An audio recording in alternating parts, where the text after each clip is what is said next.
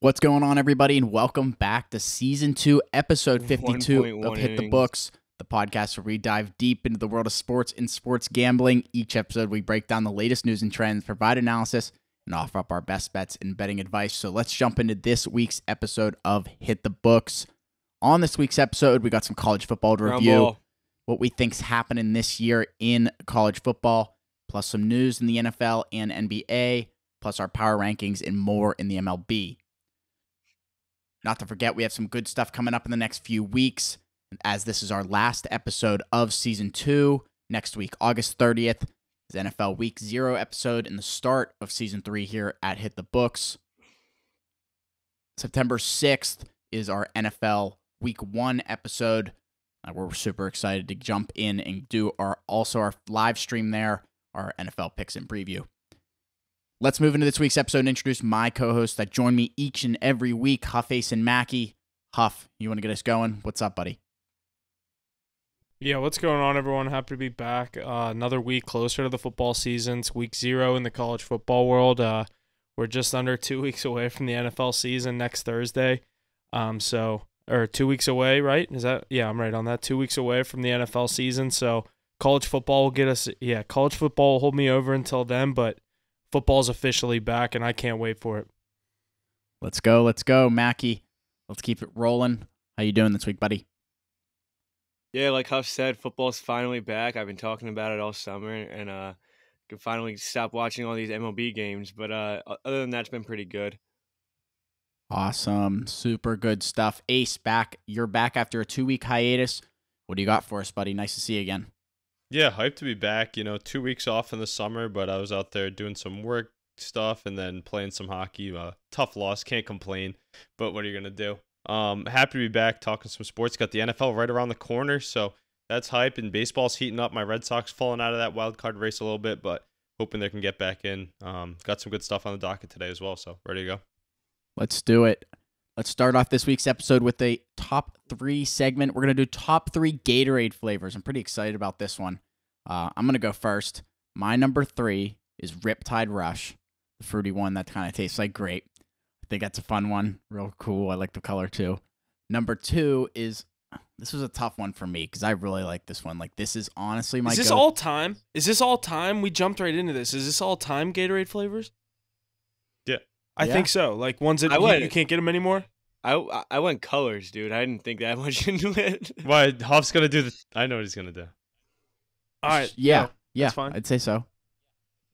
Okay, go. All right, and number I didn't mean two. This cut was a off. Go tough one for me. I mean, I thought, uh, I thought that, or this is the one that if I go into a gas station, like I'm probably grabbing this. But Frost Glacier Cherry, I love that white one. Tastes like cherry. Oh, it's so good. And number one, Cool Blue. You can't go wrong with the dark blue. I love the dark blue. When I was a kid, I used to love the Frost Blue, but I'm a dark blue guy now. That's crazy. I Yeah, hate that's a Glacier that's a Cherry. solid Yeah, list. Glacier I was gonna say you is- threw me for a spin not- there. I thought you were going with the light blue, and you just said cherry. I was like, Ugh, not not for me. I like the light blue no, one. but cherry is it. I'll, I'll get I'll get right into mine. It's hard for me to put them in any order, but um, these are probably the three that I get on a main main basis. Um, there's that variety pack where you get the red, orange, and yellow ones. That's usually my go-to because I like all three of those. But out of my top three, I'm gonna put the yellow at number three. Uh, the classic lemon lime. That's uh, that's always a staple. That's probably my favorite non of the like crazy ones. Uh, number two, I'm gonna go with the the light blue one, the Glacier Freeze, whatever the hell it's called. Um, and number one, I, I'm gonna go with the the old school, the fierce grape Gatorade. Uh, I think it was we that that's what it was called, right? Gatorade Fierce. I want to say it was. I don't remember exactly what it was. That's why I was trying to ask if we were doing like all time. Yep, Yeah, Gatorade Fierce. it is fierce grape, grape. gr- grape see it. thirst. That was what it was called. Fierce grape. That dark, dark purple is really good. Yeah, it was a, it was the best one of all time. That was electric. Um, let me get into mine because I have some similarities between the two of you. Um, yeah, Huff. That's an honorable mention if I could ever do one because I remember coming out of hockey practice and just slugging a fierce grape Gatorade. Like the flavor was so strong. So good. Um, but all right, here I go with mine. So Coming at number three, I had that Frost Glacier Freeze, the light blue one as well. At number two, I'm surprised um, a lot of people, you guys didn't say this one as high, but the lemon lime yellow, that's like the vintage color. That's like a go to. I'll have that every time, especially associated with sports. Had that so much. And then at number one, I've got the Riptide Rush. Jesse called it out, but that's my number one pick. Um, I think that's like a mix between the Glacier Freeze and the grape. So It absolutely is because it's there. not full on grape. Yeah, exactly. It's like a lighter version of it, but those are my three by far, like any day. But you could hit me with any Gatorade and I'm still drinking it, like honestly. Except for the Glacier Freeze. I'll leave the white one in the fridge every time. You guys suck. you guys are real Gatorade fanatics. I, you- when I was thinking about this, I was thinking colors. So I'm gonna I'm gonna rattle off mine right now: orange, light blue, dark blue. And I don't know what they're called. I couldn't tell you the what glacier freeze, wh- whatever the hell you guys were saying. No, there's three. you got one of them right. Orange. Gatorade, Gatorades are colors. They don't have names. Cool Um, blue, really good. Did you say light blue then dark blue? Yeah, yeah. yeah. Wow, yeah. I agree with Jesse's take that like the cool blue you age into it, but uh, I had to respect the, the light blue. Yo, you because I, guys- uh, You guys are like Had it sponsored or something. I mean, don't even I get me wish, started, dude. guys. Huff, I thought you were gonna If say Tiger listening. Gatorade. You remember that back before the Tiger Woods? The scandals, Tiger ones. I Tiger was gonna Gatorade do that, and then I remembered the Fierce. Yeah, and then he got Fierce hit with all the too. charges. They pulled that. They pulled that. Mackie, quick. how do you feel about strawberry kiwi? All right, what color is it? Pink. Nah. There's a strawberry watermelon, I believe, actually. Powerade know. flavors are next week. Oh yeah. Powerade. Uh, As long as it's not Powerade zero, guy. hit me with all of it. But you're going nipple top Gatorade. Come on, right? Like at the gas Yeah. station. Or dude, you if you can. can still find it in a can somewhere, that was Oh my god. Gatorade in a can. That literally fucking tasted different. electric. The dark green can. Yeah. That was electric. Or the powder, like in the locker room, you take one of those home from Todd Gookin. yeah, you pull like, it out of the. those. Yeah. I was Good. gonna say you pull it right out of the tub. Use it for other stuff too. But uh, yeah, I think those are good lists. Great starting segment there, boys. Top three Gatorade colors.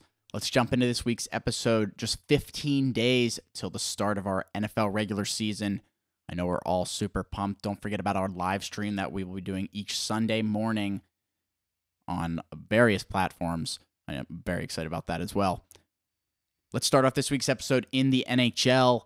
As of today, superstar forward Auston Matthews has agreed to a four year deal with Toronto as the Maple Leafs ink him to a deal worth $13.25 million annually. Huge deal there for the Leafs. Auston Matthews staying in Toronto. Ace, you want to take it away on this one? Yeah, I kind of want to just say I told you so. I think it was either Mackie or Huff were saying he's going to Arizona. I'm like, no way he's going to Arizona. He's staying in Toronto the whole time. I mean, it's one of the biggest spotlights in the league, and he's the man out there building a Hall of Fame career up in Toronto. Hate to see that- it though. Huff, was that you? I don't know. I think we were both just trying to speak it into existence because it would have been cool, but I don't know how realistic I actually thought it Yeah, was. don't But I, I, I, I like this move for uh Toronto. I, I, I mean, you're securing your number one guy. Give him whatever he wants. Give him the blank check. I like a lot of the moves that Toronto's made uh, this offseason with Domi and um a couple of the other moves they made, Bertuzzi. But I don't know. You you got to you got to ink up 34 up the middle. I mean, he's he's the guy that you want there for the next four years. Yeah, agreed. Maybe this will get him out of the second round now. Hmm. Yeah, definitely playoff accolades do not go into this thirteen point But he- two five million dollar deal. That's a bag. But he deserves it. I mean, I would give it to him every day. definitely- I mean, one of the one of the best in the league. I'm surprised five. they only inked him for four. It's for extension, wasn't it? Yeah, but this was his last year of his contract. Oh, gotcha. Imagine him on the open market. What do you think he could have gotten? North of 14? Maybe. What's MacKinnon make? Under that. 16? No, I think I I think, think he makes MacKinnon more than got the, uh, yeah, I think it's he's Oh, at max. I think it's like it sixteen point five. I was thinking it was old. Yeah, salary, MacKinnon's like sixteen point five. They gave him like as much as he wanted. and he was like, "Yeah, I'll take it." Yeah, well, it's crazy. It's considering nothing compared to these other leagues. c- c- compare comparing him to Anthony Simon is making thirty million dollars a year off the over in Portland. I mean, um, it's really or some not, bench receiver in the NFL that makes twenty two million a year just because of his name. But in a salary cap era, I mean, 13.25 is so much tied into that guy. He better stay at a 100 plus point rate for every season. I I'd buy stock in that guy any day. Yeah, I think I, I think they. I mean, you couldn't let him walk if you're Toronto. Put it this way: he's not the reason they haven't gotten out of the second round. I just need the NHL to allow the players to play in the Olympics so I can cheer for Auston Matthews on Team USA. I used to do it with JVR back in the They day. said they were possibly coming back with that. Is that still a, a thing? Is that still like? I bet in you the it's talks, kicking I- around. I- I- 'cause none of these guys have done it. This generation hasn't been there, so they definitely want to get their flowers. Connor McDavid on the Olympic stage needs to happen. Yeah, that'd be cool. When's the next Winter Olympics? Is it 2024? Maybe I don't know. Is it? I think it might be. I think the deal was 2026. Oh, 2026. All right, so the deal is still on the table. It's not. Yeah, I'm, Hasn't fi- been I'm, I'm reading here that they're optimistic, but no deal is set for if the NHL players will appear.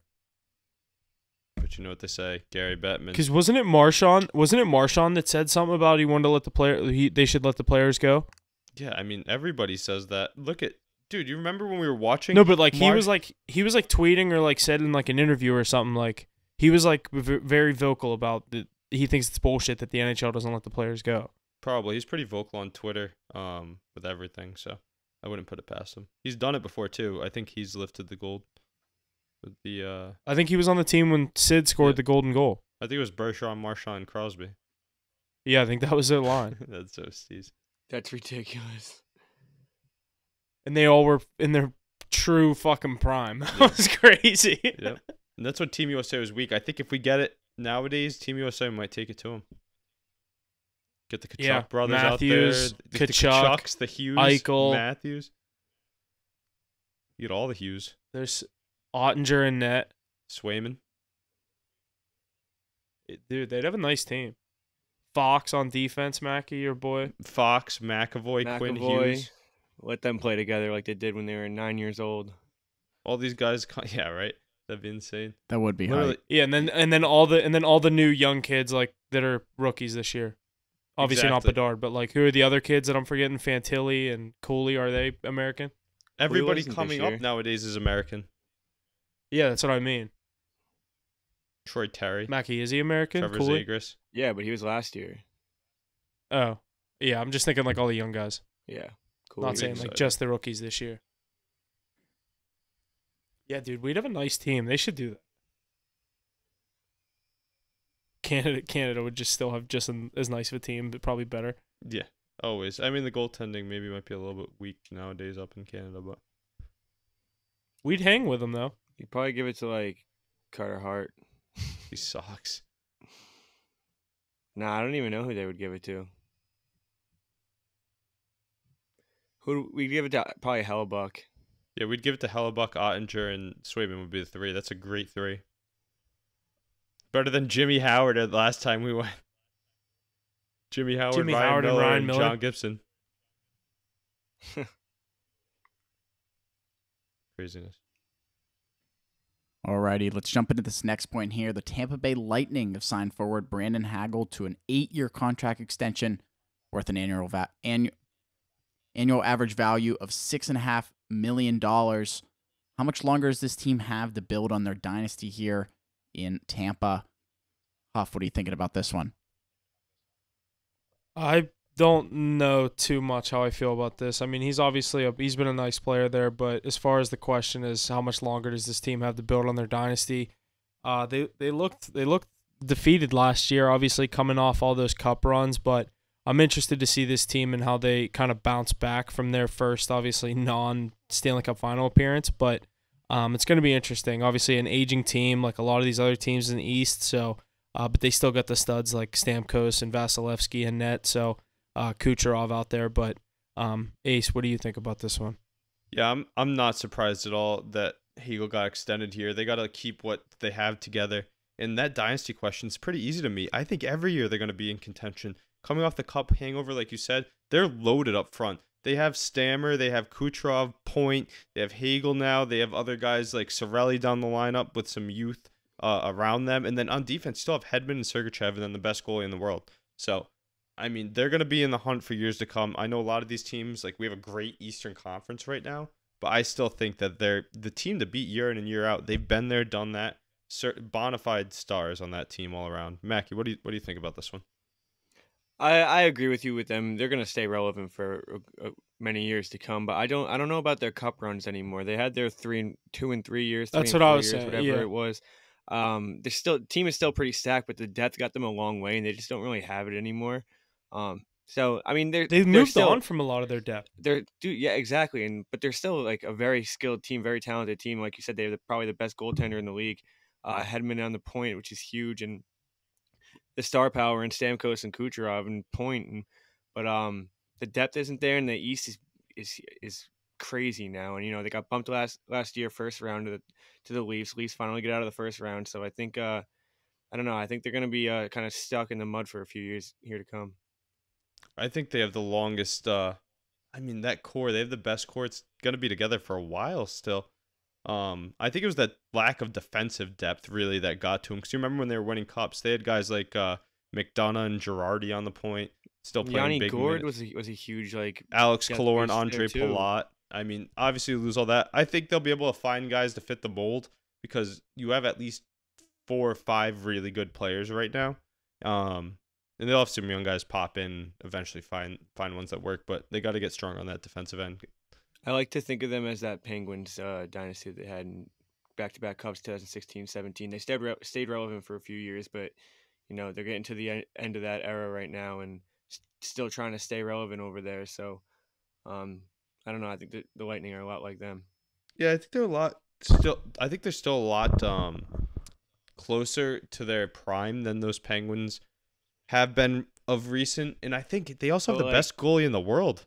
What about in 2017? There was, I mean, Crosby and Malkin. Letang, As long as they don't, as long as they don't let prime. Mar- you know how the Penguins let Fleury go. As long as they don't let Vazzy go, I think they'll be in contention. But that's the thing. Sooner or later, they're gonna have to decide: are they rocking with them like the Penguins did with this core, and look at the situation we're in with three aging pieces, and we just brought in a thirty-some-year-old defenseman in Erik Karlsson. Are they gonna decide to move on from maybe a Hedman or a Vasilevskiy or a Stamkos, and one of them not retire at Tampa Bay Lightning? You know what I mean? I, I, I don't see a scenario where they don't. Maybe Cooch. I could see Kucherov move If on. they if they aren't good I ever, think Stamkos. if they're not really- good, he would be the best trade deadline. They would get so much for him at a trade deadline. yeah, this Brayden Point, he's like an un, unsung hero out there as well. He's he's really good. I think he put up sixty goals last season. But I think that's the kind of guy they'd want to keep.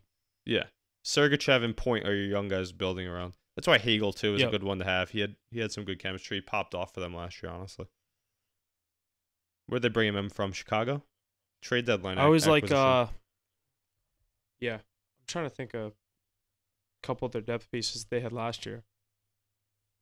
Were you saying like Can't the year we just right now. played? Pat Maroon and Anthony Cirelli. Anthony Cirelli's a good piece down there.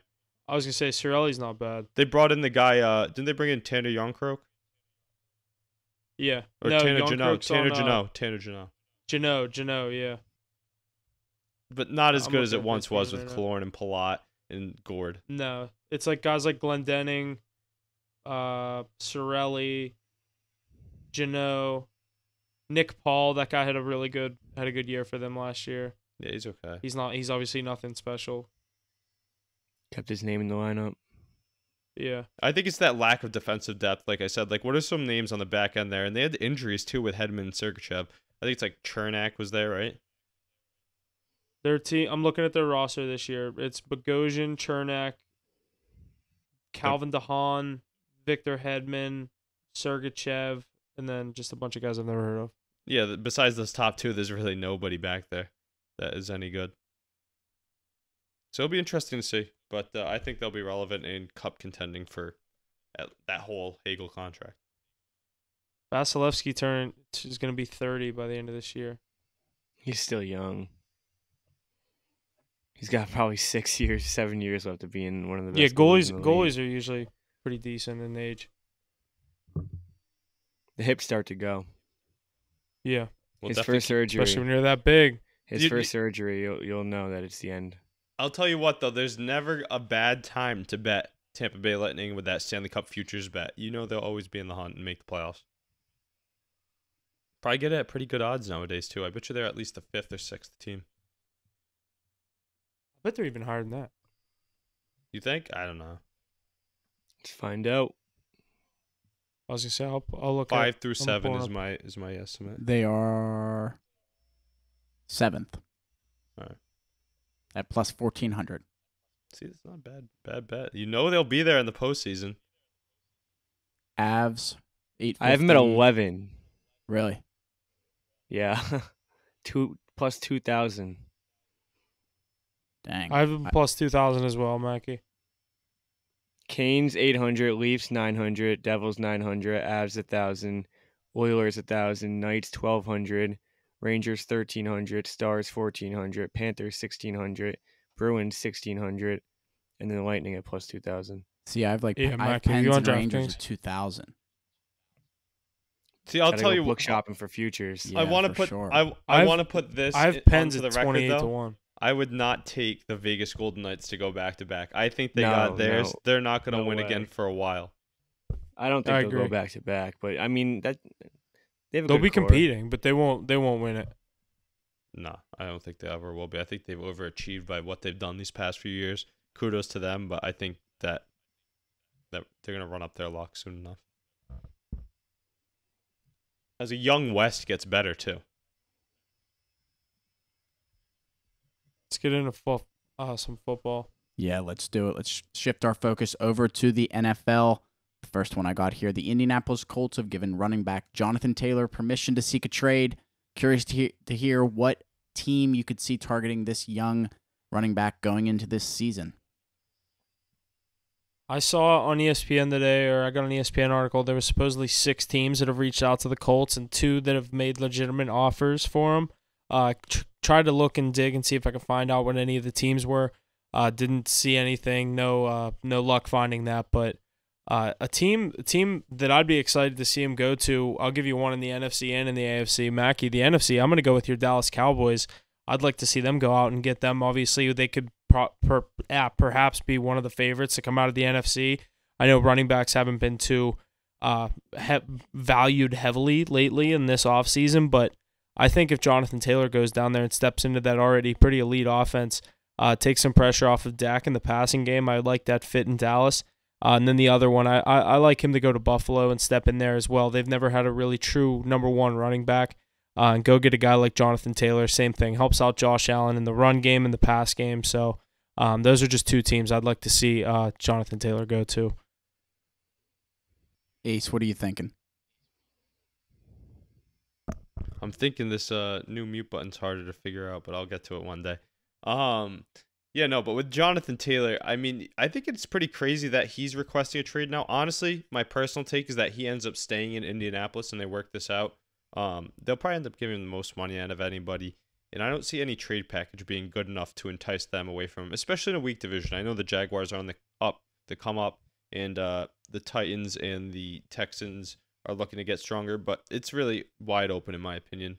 Um, but I think that a good team for him to end up with would be the Miami Dolphins. Why not? I mean, they just got Dalvin Cook to the Jets. They just got Ezekiel Elliott to the Patriots. And imagine if the Dolphins, with all the star power they have, they could work out a way to bring him in and join that arms race of elite or former elite running backs um, in the AFC East. I like them. I like him going to the Dolphins. Huff. I don't think he's going to come to Dallas because Dallas just spent all this money. What are they going to go do? Overpay running back when they just put all their chips in on Tony Pollard? Um, I think he'd be a good fit. It just doesn't fit what we're going for right now and with our money situation. I'd like to see him in Miami though. Miami with all that offensive star power already, throw top, probably a top five running back in the league right in there. They could be pretty, pretty damn good. Good stuff there, boys. Let's shift it down south. The Tampa Bay Buccaneers officially named Baker Mayfield as their starting quarterback for week one. Not really a surprise here, I don't think, but any comments on this one? They'll win four games. I think it was this more of year. a. Sur- I was gonna say I think it was more of a surprise that this uh, wasn't. I mean, uh, I don't know if it was a surprise that it wasn't a given because there was reports that he was having a legitimate quarterback battle with uh with Kyle Trask Kyle down there. Trask. At, at, Bu- Kyle Trask, training shout out the so- Florida Gators goat, dude. They should have went to the uh, college football playoffs, but the guy threw his shoe. Remember that No, I don't remember that. I don't against- remember that either. against LSU? It cost them the chance to go to the uh, to the SEC championship, and it was third down, and they made a crucial stop. The cornerback on the Gators took the shoe of a player on offense and threw it. It got an unsportsmanlike conduct, 15 yards, first down. Florida loses the game now, and then Florida misses the, the SEC championship. Kyle Pitts never plays again for Florida. He sits out the remaining games, and they don't go to the college football playoffs. Kadarius Toney was on that team. Kyle Trask, that was a crazy. Yeah, I knew Kadarius Toney was on that team. They were a wagon too. I just didn't know that about football. that game. They were a wagon, but no. Um, I mean, yeah, that's crazy though. But Baker Mayfield got to watch out for the backdoor covers now. You know he loves those fourth quarter He loves usually them. He loves short. them. In games where he's really not has no business being in, just throwing a late late touchdown to cover a 12 and a half point spread. I was gonna say he's gonna be getting a lot of big spreads down there as a as a buck with that team. I think. At least he likes to chuck the rock up though. I'm a big Mike Evans guy, and uh, I was gonna say he has options. he has a big Rachaad arm White too. out of the backfield. I don't think he's bad. I like him. He likes to play in shootouts, so you could watch for Evans and Godwin to blow up a bit this year. Um, because you know he'll throw his turnovers. He'll throw like 300, two touchdowns, two picks, three picks. But That's a- uh, it's a terrible division too. So you win a few games you're not supposed to, and you could could find your way in the hunt with seven wins going into the week 18. it's funny though because I'm high on these young teams. I really like the, what the Falcons have. A lot of young options on offense. Whether or not they pan out is the question. But look at you got Ridder, you got Bijan, you got Drake London and Kyle Pitts. I mean they're all supposed to be pretty good. So that's that's who I'm hoping pans out. But I don't know if I'm betting anything on them. I think the Saints will win the division, but just because they're the most wins. sound veteran team. they have the most. Yeah, I like this. exactly. Yeah, you're not wrong. That's And the the, safe def- pick. the defense to back it up as well. We were talking about that that divisional odds a few weeks ago. Last time I was on, I remember they were still at pl- everybody's plus to win that division, so it might not be a bad bet to look into the New Orleans Saints to take home that division. Plus 130, I think they're at. Yeah, I mean, Yeah, any, I got any- him at plus one thirty. I did take that actually. Derek Carr, the only quarterback with winning experience. So, be interesting. We'll talk about that as we get closer. I do like the value on the on the Viking or the Viking the uh, Falcons to win that division though, but I, I'm going with the Saints. I like I'm just taking the Saints. I thought the same thing. I was like they should be at least like closer to even, but plus one thirty, I'll take it. And the Falcons are a sleeper team. I mean, they could pop off and like nobody's business, especially with how bad the NFC They is. could, they have the highest ceiling and the like the lowest floor. They could be so good. They could be pretty good or really bad. You think they're the lowest floor? I think lowest floor in the division's got to be the Bucks. It's got to be right. Bucks are definitely the lowest. I, th- I think Yeah, they, could- they but have I'm the potential to win two games this year. But literally, all four teams have the potential to win the division. I don't think the Bucks really do. Defense. I'd say the other. Th- I'd say the other three. Eh. they're not even good. None of them are actually good. So literally, No, anybody- but the the Bucks don't have really have anything going for them. Defense. I think the Saints could be pretty Like, good. they, they don't even have the best defense in the in the division. No, I don't think Who? so either. But I'm saying like they, they have they have championship pedigree on their defense. I mean, I take that into account Yeah. a little bit. They had Tom Brady on the team. But the defense played well. Remember, he they won some games for him. Oh yeah, definitely. But uh, I, I don't know. That wasn't the backbone of that team. Shaq Barrett, Devin White, Lavonte David, Vita Vea. Those are a good front seven at least, uh, especially against inexperienced uh, offenses. But I don't expect much from them. I don't. Ex- the the Panthers a really weird team. So many question marks, coaching question marks. Um, that scares me a bit. Is the coaching. But uh, the Falcons high ceiling, but is Ridder good? Derek Carr. I mean, it's got to be Derek Carr and the Saints, really, right? That's what I'm saying. Yeah, it's gotta be gotta Yeah. get it to Derek Carr. the defense is solid, right? Solid defense out there. Lattimore, Demario Davis, uh, got a few other guys, right? I I personally am starting to think Bryce Young might not be that good. I haven't seen it. You gotta. Ah, we'll revisit Why? that week four. Yeah, like why? Just because I think he's in a no that He can't and see I think his he's in a tough situation. His line's not good either, and he so he's going to be over in a him. tough situation from week one. Like Who's their ball carrier too? Chuba Hubbard. That rookie Bigsby. Kingsby. Did they draft him? I don't know. Yeah. Yep. Tank Bigsby. I believe is his name. Yeah, I don't know. I don't know. Panthers might have a tough year. But their They have a defense good is up and defense, coming. but- Brent or Yeah, Brian they have Burns. Burns, uh, Brian Burns, Jace and Horn. Jaycee Horn. Huff, did you know on the outside don't though? know. Think about that Falcons defense a little bit. They have Jeff Okudah and AJ Terrell with Jessie Bates. That's a pretty nasty secondary. Grady Jarrett. On yeah, the and D-line. then I forget who uh, they have another dude on the D line that I can't remember his name right now. well, they have that linebacker who's really good. What's his name? Oh, we had one of our callers call into the show and bring him up. It was my uncle. He told me about it. He's like, uh, he's like, oh, you forgot him. Is it Deion Jones, the linebacker? yeah, D- D- I was gonna say, is he still there? Yeah. I didn't think he was still there. I believe he is. The. Steelers play the Falcons tomorrow. Hold on, let me. Pull, I'm looking at their roster. Let me see if I can find it. But uh, on the other side of the ball, I know we hate on Kyle Pitts a lot on this podcast, but he has the potential. It's there. Drake London's really good in my opinion. You have Bijan Robinson with Cordarrelle behind them and uh, LJR. I don't really know who their number two receiver is. Um, might be the guy with the long last name. The Falcons now have Bud Dupree. Yeah, he's not bad. I didn't know that. Yeah, Jeff Okudah, AJ Terrell, Jessie Bates. That's nasty. They have, AJ an, they have one of those sleeper cornerbacks that could be one of the best in the league. Grady Jarrett, and it's Et Inech Kawu is the dude I was thinking of. I, I knew I was never gonna be able to say that name. it's crazy. But yeah, give me the Saints on the Bucks. We'll take it right there. Hit the Bucks with the Saints. Alrighty, boys. The Baltimore Ravens preseason win streak has officially come to an end, losing 29 to 28 to the Washington Commanders on Monday night. The Ravens win streak spanned back to 2015, something like 24 preseason games. Does that sound right? Something like that. What do you Yeah. What are you guys thinking about this? And it Fuck- and it fuck came this to an end of the sh- Fuck to the this streak of the the streak killers, the Washington Commanders, left hand up. They got it done again. They they took down my 11 and 0 Steelers. They took down the 8 and 0 Eagles. They took down the 24 0 Ravens. The the Washington Commanders are the summer Super Bowl champions coming into this. I don't know if you guys saw them celebrating after the game. They were hyped to win that one.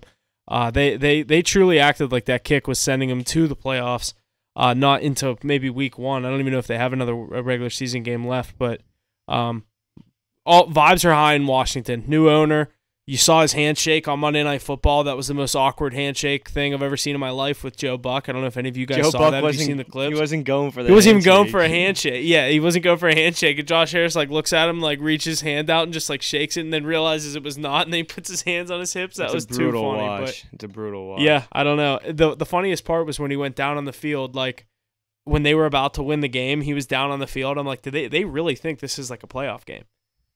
Yeah, that, I mean that's the that's the best they're gonna get this season. They're gonna win five games this year and just uh, figure out a, about that name for next season. But uh, I, I hate I bet on the Ravens, and this is just like punt the ball. It's fourth and twelve in your own end bet 'em. zone. I had It's to take it. I told you. I I'm. I was gonna say. I told you. I was like, I liked Washington, but that one and a half was tough. As soon as I got that six and a half points, I loved it.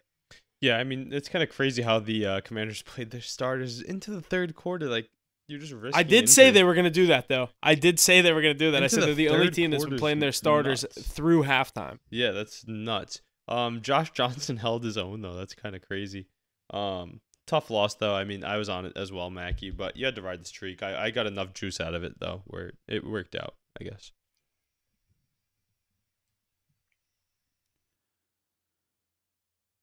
With that, boys, we go to ESPN. Stephen A. Smith made allegations on ESPN's first take talking about how wide receiver Stefon Diggs was not happy with his current situation in Buffalo. Diggs quickly took to Twitter to make the to, to put those rumors to sleep, saying that he is Bills Mafia through and through. What are you guys thinking about this? Stephen A. this? Smith's just catching shots all over the place really on uh, social media between Yeah, this and the Lonzo Ball thing. Yeah, and then did you see what Stephen A. Smith said this morning back to Lonzo? No, but I saw the He was like- Steph. He goes, "What'd you say?" I saw something about like his, um MJ and Steph. Uh, yeah, MJ texted him and said Magic Johnson's the best point guard ever, not Steph Curry. But we'll we'll deal with that later.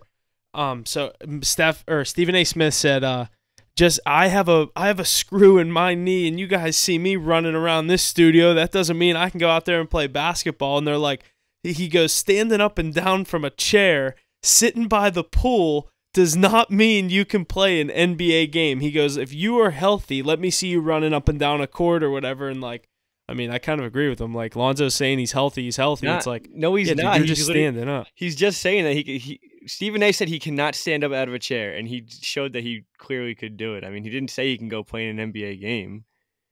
Well, that's uh, I. I mean, I. I don't know. I just think it's a funny story because Stephen A's catching shots from everything, and then the the Stefon Diggs stuff. Everyone's kind of saying, "Let me hear your sources," but then he said the same thing back to Stefon Diggs this morning too. I saw it was like. All I'm saying is he said s- he expressed feelings to people close to him, and it got to me.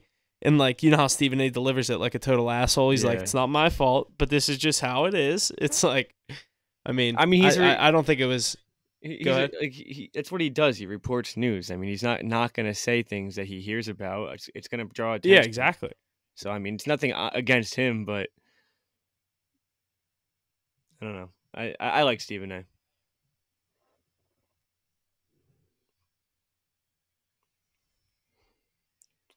Good stuff, boys. The Titans. Will Levis has. Oh, this. Oh, this is such a weird one. Will Levis has signed a lifetime deal with Hellmann's Mayonnaise after being a big mayo and coffee drinker. I read that he doesn't actually do this, but he has publicly done it as a joke multiple times and sips the coffee without cringing. Just like takes the mayonnaise and just like the squirt bottle, squirts it in this coffee and drinks it. Not, that's just whack. That's nasty. I mean, I feel like he's been planning this uh this tandem partnership for a while with the way he's going about it. Why else are you doing that? Exactly right. It's funny. I think it's all good. Worked out. Works out. I mean, he's not a starting quarterback and he's getting a nice sponsorship right there, so can't complain. Mayo kind of creeps me out, so uh, I don't. I'm not a big fan of this. Yeah, me too. I would, Not a you big know something? It's one of those things that you get on a sa- I, now that I'm older, if I get on a sandwich, I still eat it. I'm like, it's actually not that bad, but I never go out of my way to order. I will or never go out of my way to use Oh, it. I like yep. mayo. Yep. I Mayo like with mayo. on a ham and ham and cheese. Yeah, that Mm. sounds disgusting. Yeah. All right, Good. well, Very don't good. yuck my yum, bro. The mayo. All right. Yeah, I'm more. Homemade I'm mayo. definitely more of a mustard guy. Alrighty, up to Seattle. The Seahawks rookie wide receiver JSN. I'm not going to try to say his name is out three to four weeks thanks to today's wrist surgery. This injury comes at a tough time for the Ohio State product. Seahawks without their wo- rookie wide receiver for the first few weeks. What are you guys thinking about this? Tough time. I was of the year for excited to see him and uh, yeah, I was excited to see him and Metcalf uh, start the season out and see what they kind of could do with Geno Smith coming to this year. Uh, uh, this Seattle team that no one had expectations for last year, and um, this year, I mean, I'm hearing people pick them to win the division, so I'm very excited to see how they start out. But um, yeah, I think it's a tough blow. Obviously, I was excited to see him him up there with Geno, but Ace, go ahead. Yeah, we were talking about this yesterday when it happened. We were saying now this really opens the door for Tyler Lockett to regain the spotlight that he always shines in. Um, however, I think this is just a tough spot for Jaxon Smith-Njigba. I I really hate to see this for a young guy because now you got to wonder is this something that's going to linger all year? Um, he's missing the vital weeks of practice right before the season starts, learning the playbook, etching on his role as the number two or even number one pass catcher if he's their slot guy. But uh, yeah, hopefully this is, something you can overcome pretty quickly. Yeah, terrible way to start your career in your rookie season, but uh, he's athletic and he's young enough to come back from this guy out of Ohio State. He knows he knows how to win, so I I think he'll be he'll come back stronger. I just hope it's not a nagging injury, especially the way Geno Smith plays football. He would have been a great uh, asset for the Seahawks to have.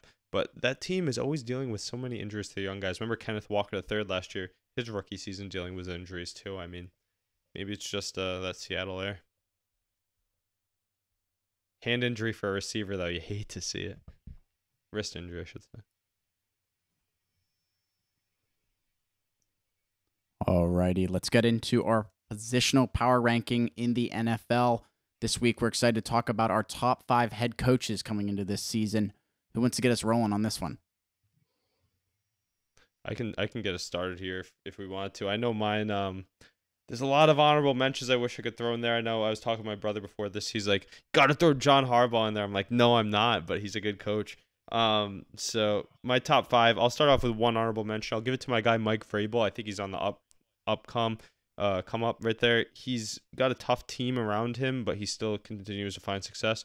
But getting into mine here, number five, Doug Pederson, um, down in Jacksonville. Uh, already has a championship to his name, and look at what he's done with Trevor Lawrence in just one year. I think he's just going to continue to grow on his career. At number four, the only guy on my list without a Super Bowl title, but he's been there a few times, is Kyle Shanahan, one of the younger coaches in the league. I love the coaching tree that he has coming off of him and just the way he calls the game, an offensive mastermind. And look at what he's doing with that star studded offense out in San Francisco. There's a reason they went and got him from Atlanta. Um, coming at number three, much to the Yinzer's surprise, I have Mike Tomlin on the list. Um, Got to give a shout out to the Pittsburgh guy. Love the way that he coaches his team, a true players coach. Um, kind of like Pete Carroll, but in a different way, if you know what I'm saying. But I'll take him every time. Guys never had a losing record, I don't think. How can you name that anything else? Guys love playing for him. They always speak it, speak about it. And also he has a championship, so you really can't hate on that. At number two, um, people might have him at one right now because of recency bias, but Andy Reid, I know that he has Patrick Mahomes, but he's in the Super Bowl year in and year out. He's going to be for a while. And uh, he has a great coaching tree as well. Been in the league forever, been doing it forever. So give that guy a cheeseburger and he'll get you a ring. He's my number two. And at number one, I got to have the GOAT, Bill Belichick. Don't even need to say anything else. Best coach of all time. Pretty long, but that, that's my list there. I don't know what you guys think about that or have to say about yours. I'll go next. Uh, yeah, that's a good list. Um, yeah, I'll slide in here next. So I, I I have a pretty similar list. I have an honorable mention, and I'm gonna slide in here to Mike Vrabel. I wanted to put him in here, but um, the the one that I ended up putting it for was who I kind of was forgetting, and ended up having to have him throw him in there with the uh, Super Bowl in the recent couple years. So number five, I do have Kyle Shanahan in there. Uh, a lot of people are gonna have him, could have him higher. I see why. Uh, they're what he's done with the 49ers offense over the past couple of years uh, what he does with what he has to work with. We've seen what he did with Purdy last year and what he's done with all the different guys in, in San Francisco. So uh, Kyle Shanahan, number five. Number four, I do have Sean McVay. Uh, that's the one I was talking about, the Super Bowl championship with the LA Rams. We're the young coach, one of the young coaches that does have the ring already. So I'm gonna go with Sean McVay at number four. My guy Mike T at number three. Uh, Belichick two, Andy Reid one. I do have Andy Reid at number one for the consistent uh, fact that he did it with the Eagles, he did it with the Chiefs, and uh, now he's all the NFC championships, all the AFC championships. He's just consistently there every year. So uh, recency bias, I do have to put Andy Reid there for the top five coaches coming into this season. Huff, we have very similar lists. Um, I'm gonna go with uh, as an honorable mention, McDaniel down in in uh, Miami. I think I mean he's young, but he's kind of in the same boat as Kyle Shanahan. Just haven't haven't really proved it as much, and he's going to be there for a while. I think so. I want to I just want to shout him out a little right there before he can get in my top five. But uh, number five, I'm going to go Sean McVay. Uh, like you said, uh, recent recent Super Bowl right there kind of puts him in my top five. Guy, young guy, really knows what he's doing with that team. Number four, I'm going Kyle Shanahan. Uh, in my opinion, this guy is probably the top two smartest people in NFL history. He knows the game better than pretty much anyone, and uh, he still has a lot of more, a lot more years under him as well. Number three, I'm going to go Mike Tomlin as well. It just proves year in and year out that he can't have a losing record. Um, he's got a few Super Bowls over there as well. I think he has more than one, but um, he just he just has the one. Okay, well he he can prove that he can win, and he's never had a losing record. So there's that. Two AFC championships. He won one. We beat the Cardinals. He lost to the Packers. Right, right. Um, number two, I'm gonna go Bill Belichick. Uh, gotta get, gotta give uh the recency bias to Andy Reid number one, but um, yeah, two two goats right there, Andy Reid and Bill Belichick. Mackie, we we literally have the same list. I just gave McVay the edge with the ring. Yeah, exactly. That's why I said I was like, it's basically the same as mine. Mine's very, very similar. Five, Kyle Shanahan. Four, Sean McDermott. Three, Mike Tomlin. Two, Billy Belichick. And one, Andy Reid. Just got to give uh, credit where credit's due to those top two. Can't go wrong. Bill Belichick's many- great. I Do you mean, know how many rings Bill Belichick has? Yeah, Tom Brady has seven. I think Bill Belichick has like 11 or 13. I dude, I loved Bill Belichick. I really did, but he has not proved one thing since Tom Brady has left. He hasn't even he has even he hasn't even won a playoff game. Yeah, I mean, couldn't you say that about Andy Reid with Patrick Mahomes? No. But he did it with the He Eagles won- too. He won, he won playoff games with the Eagles. Did he have a Super Bowl though? He went to the Super Bowl with the Eagles. Does Bill Belichick have a head coaching Super Bowl with, Not without head Tom Brady? No, not head coach. He's only head coaching uh, been in New England, but that's over 20 something years. It's crazy. Whenever you have these arguments, it's always funny because people are like, "Oh, Brady had Belichick," and then when you have the other argument, it's like Belichick had Brady. It's well, so well. Brady went. Brady left and won, and Belichick. no, I know. left no, with- but you should hear the Brady. That's what people use as the Brady argument too. I think it's a combination of both. Yeah, definitely. I'm not taking anything really away from Bill Belichick, but What was I gonna say? Uh, some other name. I'm surprised you guys have Sean McDermott up there. My brother said that to me as well, but I'm like, what has he won? Um, I don't know. I think they should go further with the talent they have. I think he's a talent-driven team. Uh, surprised no one else gave Doug Pederson love, but you guys do hate the Eagles, I guess. Is that why? yeah, kind of. I mean, you can definitely put him up there, but there's also, I mean, you can also put. I, I wrote down in my notes, guys I said ahead of Mackie. I, I'm happy you said it might be Daniel because I, I wrote in my notes some up and coming guys. I just want to call out three of them. I think Brian Daboll, really good head coach as well. Um, great offensive coordinator. What he did with that Giants team, I thought they were dog shit and they went to the playoffs and won a game. Um, Mike McDaniel, and then I like Matt LaFleur up in Green Bay. I'm eager to see what he can do without Aaron Rodgers in the way. Yeah, I'm a big McDaniel fan. I love him. He's a Shanahan tree, right? It's crazy. I like those lists right there. Um, I, I value the winning and championship pedigree a lot, though. Um, that's why John Harbaugh and Pete Carroll, those guys, I, I might put the honorable mention. I went with the Vrabel because I like the way he coaches, players coach like Tomlin. But personally, I think Carroll and Harbaugh are probably ahead of him because they he has that. They both have those rings and they're always in the hunt. Harbaugh Pete went Carroll is definitely right outside for me as well. especially with, look at what he did last year without Russell Wilson. Yeah. And he was a Patriots head coach for a while. He's been doing it forever. He brought a new mantra to coaching in the NFL. He's he's the true, not like Vrabel and Tomlin, where he's like a dog and they're basically players that are coaching. But he's like builds a great atmosphere there. Harbaugh too. I mean, look at he coached a transition between Joe Flacco, this white pocket passer, and Lamar Jackson, a new era running quarterback, and he's had success with both. That's nuts to me. Bro, the Phillies are about to fucking come back again. This is ridiculous. Oh my god, it's five five.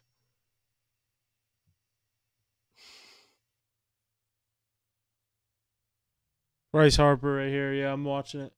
Bryce Harper's so good. Bang. Alrighty, boys, good stuff. Next week, we'll wrap up this segment with our top five teams heading into the 2023 NFL season. We're just uh, just 15 days away from kickoff on Thursday. Real excited.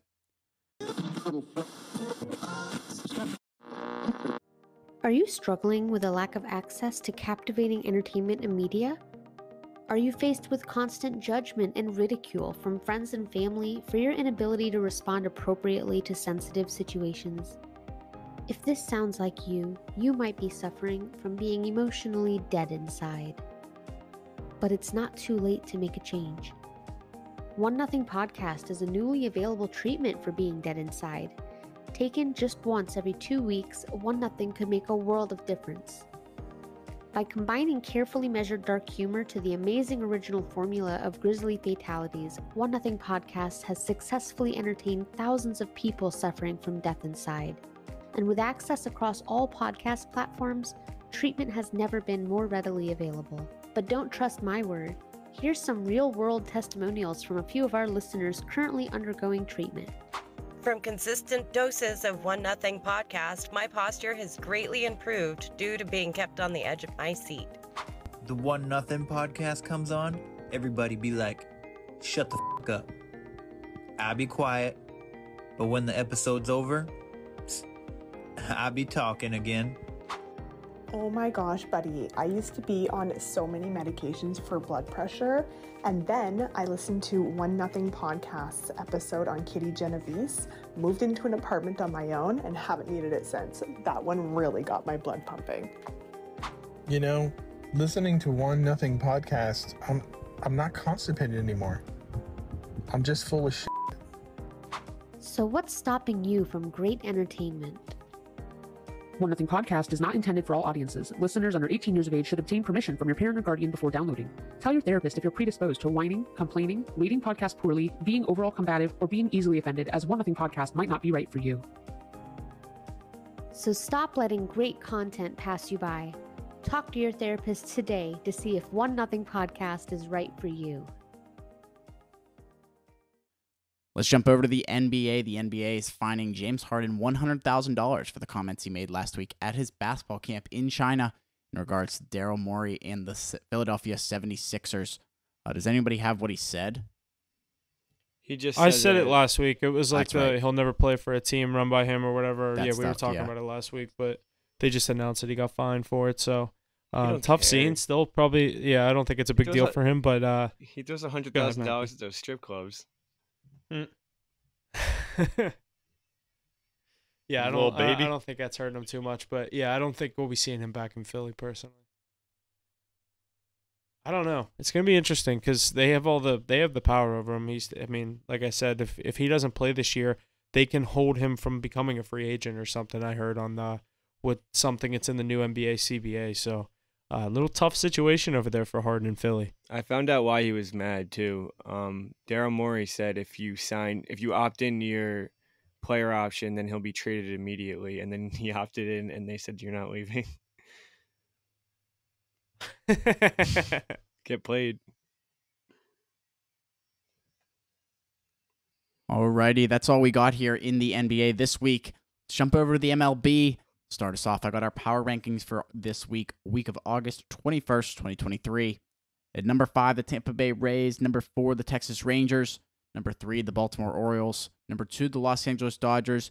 And number one, the Atlanta Braves. Dodgers in it too. Yeah, very similar to our last week's list. Dodgers moving up from the third spot. Orioles moving down to that third spot. What are you guys thinking? Pretty good rankings this week as we get closer to the NFL and other seasons. It's crazy how consistent the Atlanta Braves are, huh? Best team in the league. Lineup lineup doesn't have a weak spot, so doesn't surprise me how consistent they can be. Especially, what about Mackie? You really wanted those M's to get in after they had a hot week. Um, the M's, Rangers, and Astros all could be in there within one game of each other. I think a half a game even. It's crazy. Yeah, it's it's why you got, you kind of got to give it to, to the division leader at the moment. But I mean, by this time next week, I think we'll see either the Astros or the Mariners in that one spot. The Rangers are playing some bad baseball right now, and I don't, I definitely don't see them in our top five for next week's power rankings. It's crazy too. Aren't the Twins uh really securing that um AL Central? Yeah, but they're still only like six games. They're three games over. Yeah, there's no way they're really cracking it. Do we see try and think from a Twins perspective, any what's what's their recipe for success if they get to the postseason? Get healthy and then get really good starts from Joe Ryan, Ober, and Sonny Gray. Yeah, I mean they their their their bullpen needs to carry a lot of, of workload because they really don't have the depth in the pitching. Um, I guess you can say those three guys can get the job done, but they're definitely all sitting at sub three five ERAs, n- nothing crazy. But um, this team just needs to hit a run at, at the right time, pull like what the Phillies did last year. Even though the Phillies were even a better team than this twi- Twins team is, but I mean, you need guys like Carlos Correa, who you're paying all this money to, to step up. Guys playing terrible baseball all season. Um, you need you need Byron guys, Buxton to get off the injured list. Yeah, exactly. You need that him him back and stuff. You just need these names to step up a little. They're going to find their way into the playoffs in such a weak division, but uh, it matters what they can do with it. Yeah, it'll be interesting to watch play out. But I know we have some more points to go over some of these top teams uh, with not much movement in the power rankings this week.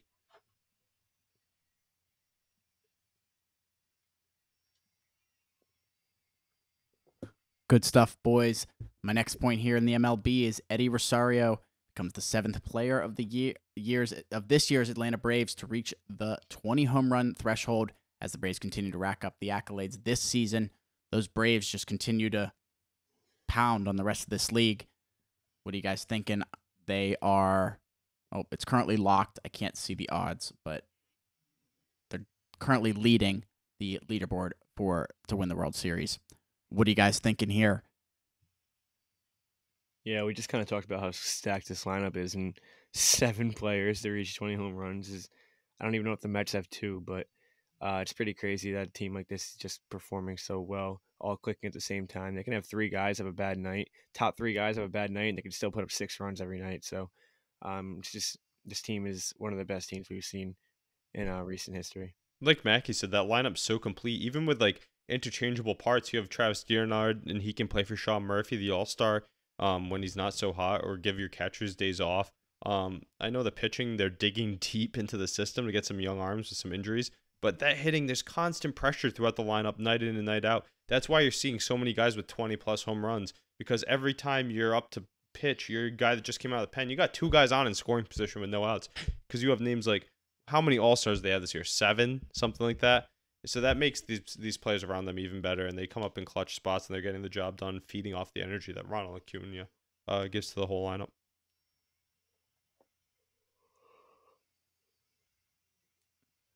Like we keep saying, that Braves team is at the top of our power rankings each and every week. They're there for a reason. Next one here, Elly De La Cruz has 10 homers and 20 steals through 64 games this season, the quickest ever to reach that mark. Sitting just a half a game out, can the Young Reds team get to the postseason? Curious to hear what you guys think. Uh, yes. I don't think they get in. Who do you think? I- ed- who do you think edges them out? Uh, I think the Phillies and the Cubs will definitely be in. I, I kind of think the Giants, but they're just playing terrible baseball right now. The Reds, beginning of, halfway through the se- season, even at the All Star break, I think they maybe had a chance. But I mean, their true show, their, their true colors are showing. De La Cruz still having a pretty good season. He just doesn't have enough quality at bats. These guys are just they're big names that just aren't having enough quality at bats, and over over a span of time, it's just not going to work out for a team like that. Um, NL the NL race is it's tight, but it's kind of weak. All the all these teams are like four, three games over 500. They don't really need to be winning every night to ha- still have a chance. So I'm not going to count them out just yet, but I think a few of these teams could definitely squeak out in front of them. Yeah, Mackie, it's funny that you say the Giants because I think we went to this topic just before the All Star break started, and uh, you guys both lean towards the Giants making it. I'm gonna stick with the Reds. I think they're electric, and like you said, you don't you only have to play just above 500 baseball to get in with the landscape of the wild card race right now. And I think they can do that with they have enough pop power throughout the lineup. Uh, Spencer Steer, Matt McLain, Elly De La Cruz. Uh, they brought up CES, but they have like guys, a lot of guys that can pop off when needed. I know their pitching is not too great, but I'm not high on the Giants. I think the Marlins fade out a little bit. I'm not even the, that high on the Cubs, but um, yeah, I think the the D-backs, Phillies are the yeah, they're another team. They're in that same boat. Like I'm higher on them than I am the Giants, but I know they're a little bit further back. Um, not anymore. They're ahead. They're in the wild card spot right now. They're eight, they're eight and two in their last ten, so they're Yeah, playing some I- good baseball. Remember when we were talking about them earlier in the year? I think they were they they might have already went through that low stretch. Hopefully they don't hit another and they'll get find themselves there. But I think they have more uh potential than those teams listed. I like the Reds and the Diamondbacks after the Phillies to get into the wild card. You don't have any love for this Cubs team? No, not not too much. I just high think on they have the staff. best. I think they have the best roster up up and down out of these like bubble teams right here. They're the most veteran of them. The Cubs. Yeah, I like the Cubs to get in. I think the Cubs. I, I think the Cubs will sneak in. They have the pitch, the best pitching out of all of them. I'd say too. You think? Uh, Diamondbacks are carried by Zach Gallen, so maybe you could say them with their backups. But you know, Steele has like the lowest ERA in the league, and then you have like, um, Italian stinks. Yeah, Ty- Assad, he's okay. and Strom, Stro- I don't think Stroman's healthy right now. Stroman's done was- for the year. Is he? I think so. He's been out for deep too. Let Yeah, but you're, you're riding the coattails of Steele right now. He's got like a sub two ERA, so It'd be nice if they get to a one game playoff and they can roll him out though. yeah, he's second second highest ERA or second lowest ERA in the league behind Blake Snell. He's out indefinitely. Stroman with a fractured rib or some shit. Taillon needs to definitely pick it up.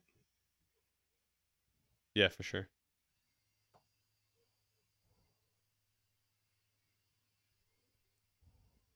Good stuff, boys. Another point here in the MLB. Julio Rodriguez becomes the second player in MLB history with four consecutive four hit games. Very impressive feat there. You guys got any comment on that one? Yeah, guy's pretty good. Yeah, uh, he had another chance to hit a hit a or he had another pretty big moment today to hit a grand slam. I think or bases loaded, or I think he had runners on the corner. I can't remember, and I think he struck out. So Nah, he But, just uh, grounded yeah, that stretch-. Is that what it was? Yeah, I did. Yes. I wasn't really watching. I just saw him up the bat, and then I turned away because it was during when I was working. But, um, and then what was the the stretch? Was this during the stretch? Whenever I was seeing the graphic that he was literally outproducing the Yankees for like a four game stretch. He's well, he was doing way more than that. He was batting like 776.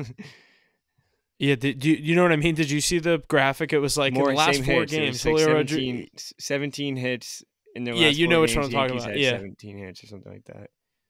Yeah, it was crazy. I was Yankees- like, damn. Yeah, I guess this guy's pretty good. Yankees are just terrible, man.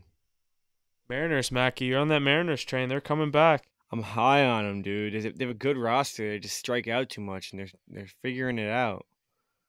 I think I think these Astros are catching their stride though. Yeah, and at the end of the day, if you're gonna go neck and neck with two teams playing their best, you're gonna give it to the Astros. That's why I just have to hope the Astros kind of fall off a bit.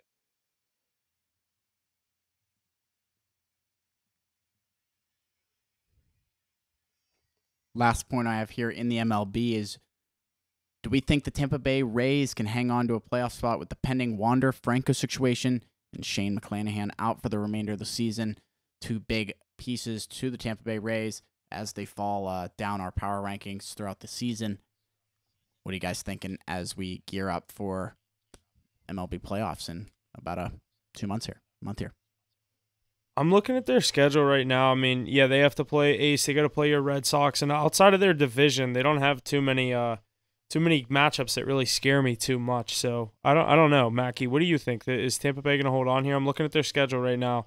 Just the end to end the month of August, they have uh obviously the Rockies tonight. They're winning. Rockies tomorrow. Then they get three with the Yankees. Then they go to Miami, and then Cleveland, Boston. Then they get Seattle. Minnesota, like none of those teams other than really Boston and Seattle kind of scare me too much. Yeah, I don't I don't think that they'll fall out of that spot. They have five games on who's right behind them. Uh, the Astros are or they or they have four games on the Astros, five on the Mariners, who are sitting in that last spot right now. I don't if they fell out after starting the season twenty seven and three, that's that'll be pretty detrimental. And Could you not- imagine? Yeah, that that'd be one of the worst fall like fall parts of from what I, from what I can remember at least. Um, but I, the team's still good. I think they'll definitely make the playoffs. I just don't think that they're very dangerous once you get there.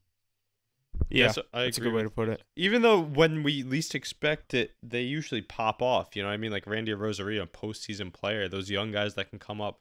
If they can get there, they can make some noise and they can scare a team. But I don't know. They got to stick around. They got to stick around. They They- keep winning games. If the season ended today, though, they'd be playing the Twins in the first round, which is a good matchup for them. Great. if they can win a playoff Yeah. series, we know what that what that lineup can do. So They feed off know, momentum too. So if they yeah. could grab a series, you never know how deep that's what I'm saying. Whoever whoever gets the Twins is a pretty decent matchup. I feel like out of those wild card teams. definitely. Same thing as like the Bucks last year. Cowboys got drawn the Bucks. It was like a, a walk in the park. Yeah, That's why I like the NBA better, where it's just one through eight seeds. The top eight teams make the playoffs. The Twins should not be in the playoffs for winning, being four three games over five hundred.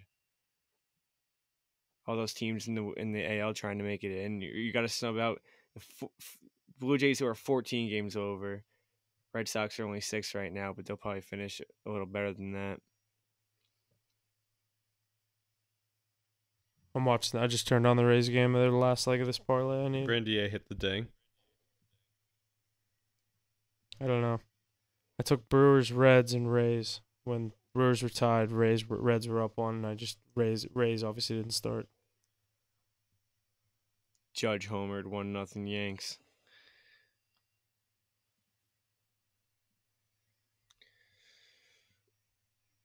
One second here. All right. Damn, and just like that, you can get the Nationals at plus two twenty instead of one twenty. Alrighty, let's start off our college football chat with some conference winners.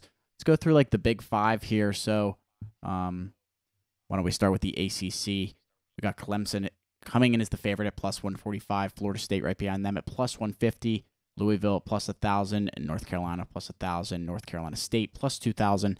So, pretty big spread there. Clemson, Florida State at the top of the ACC. What are your guys' comments on that one? Yeah, so obviously coming into those odds, uh, you have the two pretty much favorites, uh, pretty even odds at 145 and 150. What I'm looking at with Clemson and Florida State.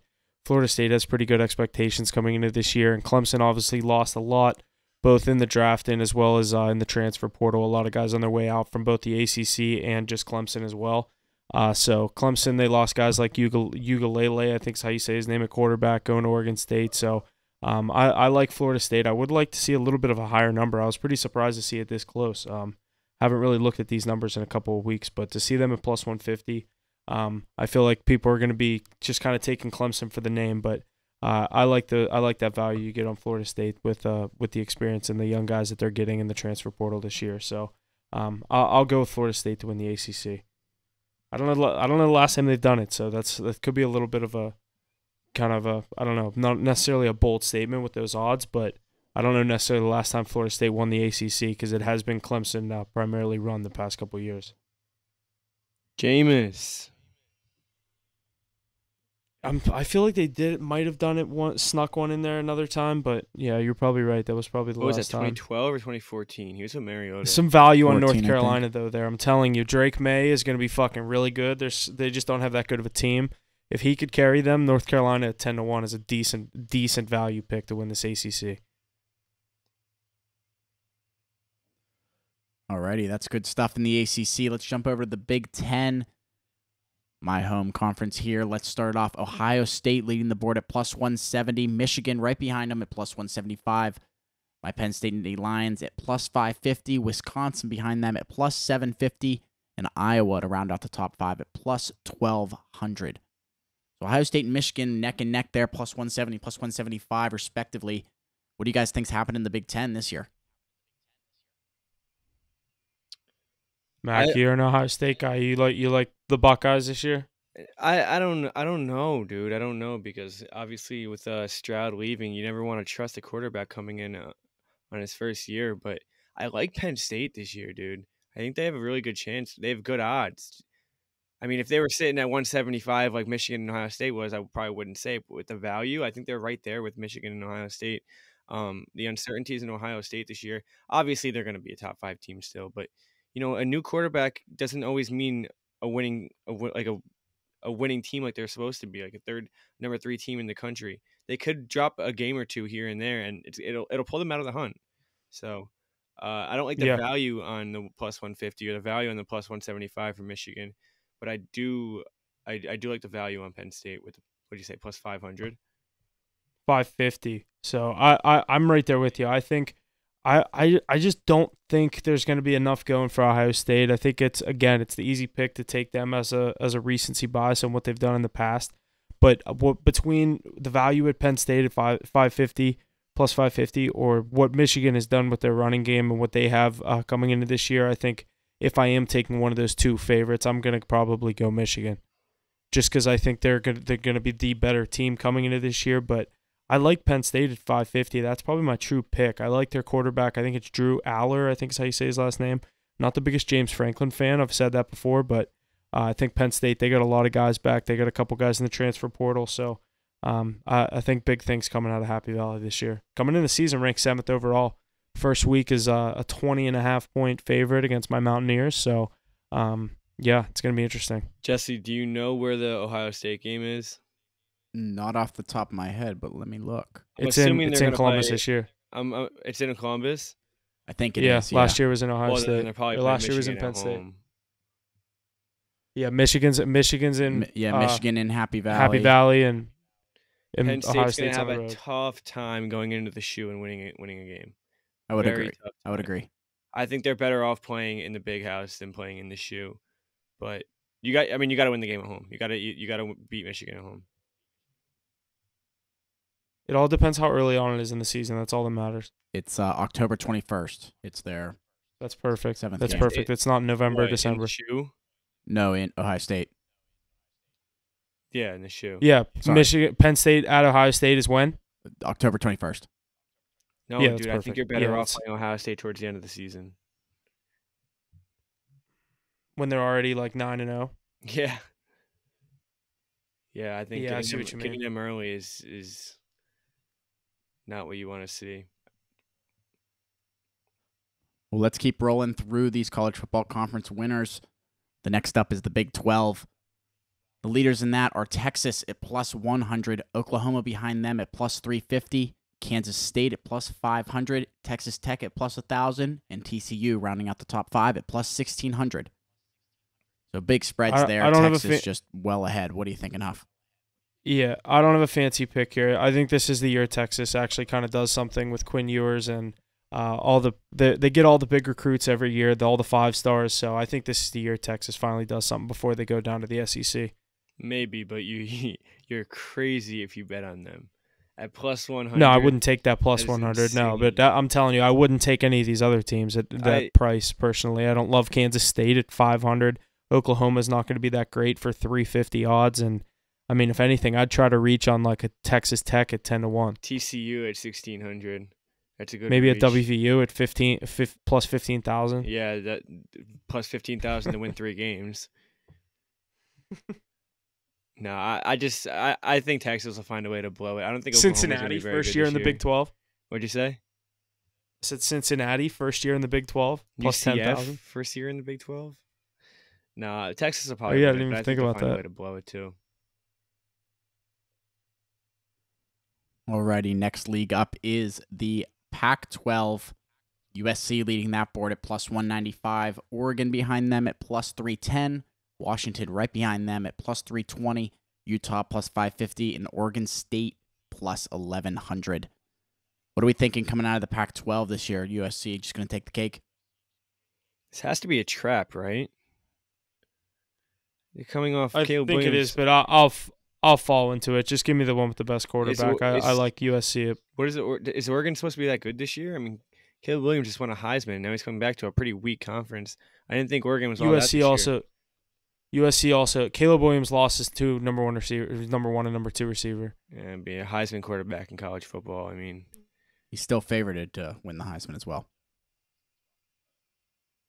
I like Caleb Yeah, Williams. I think I, I, I like USC. I'll take USC at that price. I'll, I'll fall into the trap with that one if it is a trap. game's got to be in Oregon. Yeah, probably you're right. It seems a little too easy, but that's one of the ones I, at that price that that- that's worth taking. Alrighty, let's hit the SEC to round out our Power Five. Georgia is the favorite here. Our first minus odds, minus 115 for them. Alabama right behind them, plus 300. LSU plus 450. Tennessee plus 1400 with Texas A&M also at plus 1400. What are we thinking here? SEC, Georgia, also the national championship odds leader at plus 220. What are you guys thinking about this one? Bama for the value. I would never take a conference winner at minus just because of how many things can go wrong throughout the season. But if you can get Bama at plus plus three hundred to win a conference, I don't care what they have going on this year. They have Nick Saban and they have the best recruiting class. Give me give me Bama plus three hundred.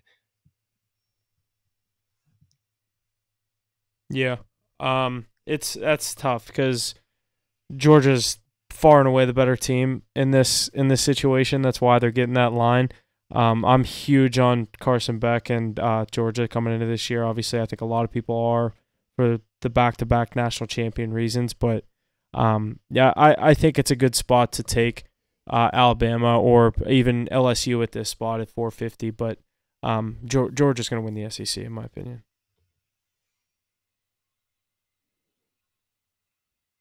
Alrighty, why don't we jump right into the national championship odds here?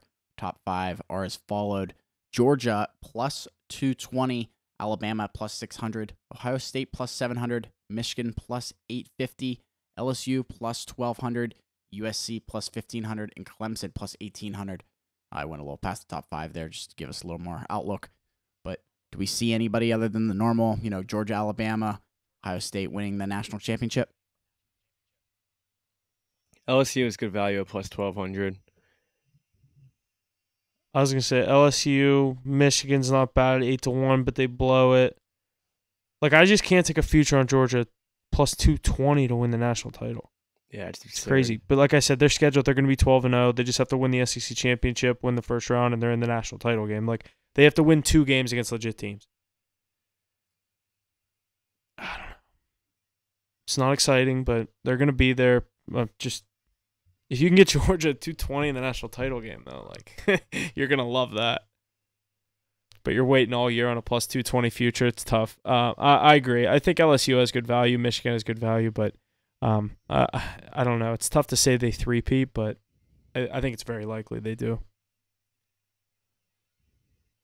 All righty, let's run through uh, some of these Heisman odds here. The Heisman Trophy for this year, leading the pack, Caleb Williams at plus 500, Jayden Daniels at plus 1100, Quinn uh, Ewers, I think that's how you say it, at plus 1300, Carson Beck plus 1400, Jordan Travis plus 1400 to round out the top five. Caleb Williams going for uh, two Pete. What are we thinking, guys? I I like the value on obviously. I just said I'm big on Carson Beck at Georgia. The fre- I think he's a freshman or sophomore coming into this year. I'm big on him. I like the value there at 14 to one, and I also like the value on Quinn Ewers at 13 to one. Uh, so those are the two that I'd be taking. Obviously, I, I I'm big on Caleb Williams, and I think they win the Pac-12. But the value on Carson Beck and Quinn Ewers at 13 and 14 to one is crazy. So uh, those those would be my two picks there. Alrighty, that's a, we got a lot of good stuff to look forward to as the college football season is quickly approaching, starting just here around the corner. Make sure to uh, keep an eye out for any plays that we have as we go into the college football weekends each and every week. Some UFC news here. Sugar Sean O'Malley knocked out uh, Ali Jamal. I don't know Aljamain. Aljamain. Aljamain knocked out Aljamain Sterling at UFC 292 to capture his first ever belt as he is now the current bantweight champion of the world. The highly anticipated bout lived up to the expectations inside the TD Garden in Boston.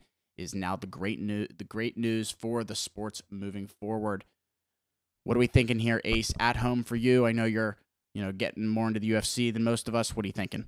I thought that was a great fight, and uh, I was hyped. I was on Sugar Show ever since this was announced. I was looking forward to this fight all summer, and uh, knocked him out in the second round. Had some great a great first round, very tactical. I mean, he was just like showing off that footwork and throwing so many fakes that probably made Sterling not want to wait to just attack. And what he did in the second round left his face wide open.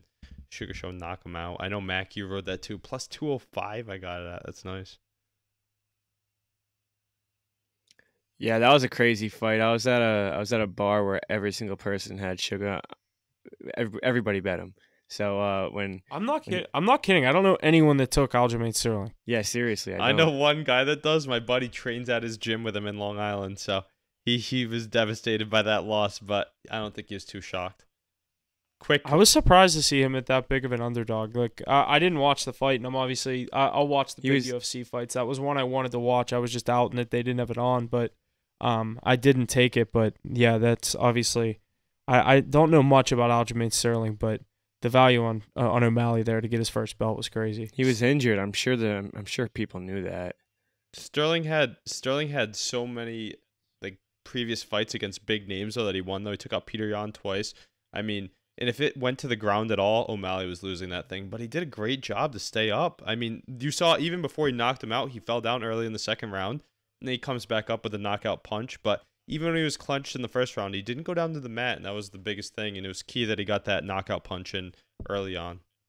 He he kept his distance and uh, just waited for his time, and um, found found found an opening and just laid him out, and it was over from there. That was huge. It was funny because that was his first big moment, like first big stage on the UFC. Um, first title fight for him, and uh, he looked very poised and comfortable, and he owned the moment. And he's one of those guys that looks like he's going to be in the spotlight for a while. I don't know if you guys saw he wants to headline a fight um, in the winter with Conor with McGregor. McGregor. That'd be something to watch for sure. Yeah, I was. He was on. He was on McAfee yesterday. and They were talking about that. I love betting against McGregor. So if I can get O'Malley on one card and McGregor on the other, I mean, I feel like everybody, even non UFC people, are going to tune in as the sport continues to grow. Do you see? He also wants to knock out Gervonta Davis. He goes, he's so little. Hmm. yeah, right. He goes, they go, would it be a boxing match? He goes, oh, obviously. Like being like, yeah, those those guys won't come over to our sport. Yeah, no way. The kicks that O'Malley can throw too. Yeah, Gervonta Davis's legs don't even go that high. I love seeing the thing that says for like ten years ago or however long ago it was like Sean O'Malley shaved his eyebrow for fifty bucks. Now he's bantamweight champion of the world. Crazy. He got the bag.